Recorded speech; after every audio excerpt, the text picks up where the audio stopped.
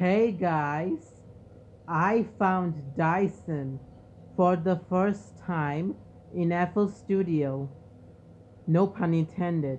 I mean, it's not at restaurant right now. I mean, I'm not in restaurant right now. I'm at home.